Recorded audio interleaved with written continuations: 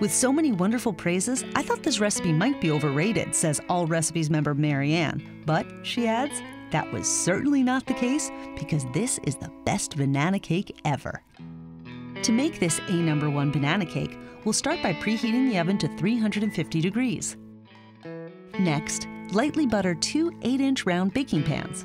If you prefer, you can bake this cake in a 9 by 13 inch baking pan or a bundt pan. Just make sure you adjust the baking time accordingly. Coat the buttered pans with a light layer of flour.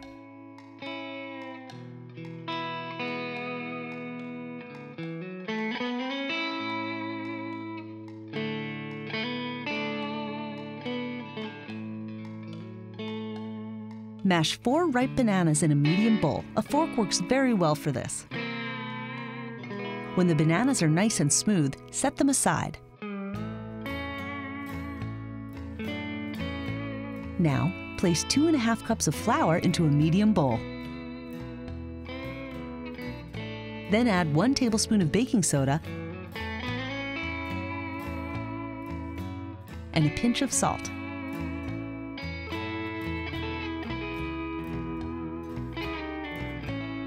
Whisk it together well and set it aside.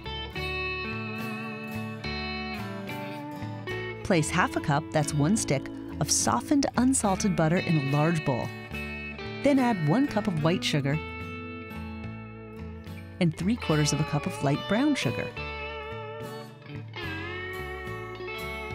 Use an electric mixer to cream the sugar and butter until it's light and fluffy.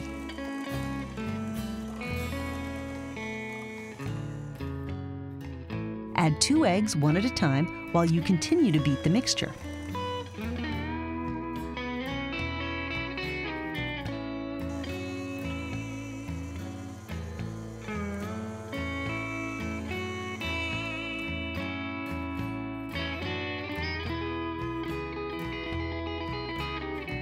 Stir in the mashed bananas.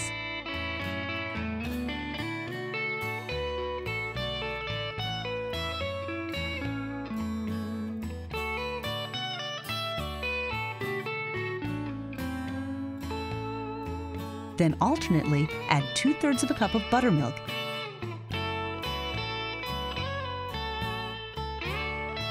and the flour mixture a little at a time until it's all incorporated.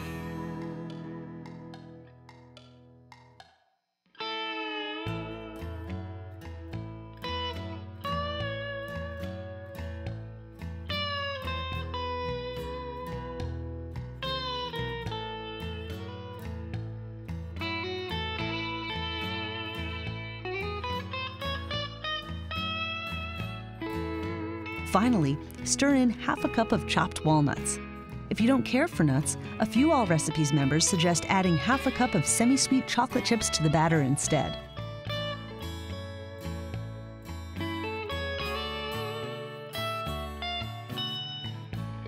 Pour the batter into the baking pans.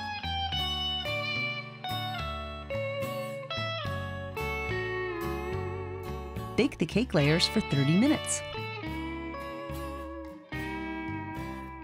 Remove the cake layers from the oven and place them on a damp tea towel or rack to cool. All Recipes members have many suggestions for frosting this A number one banana cake, including sour cream frosting, chocolate frosting, coconut pecan frosting, and more.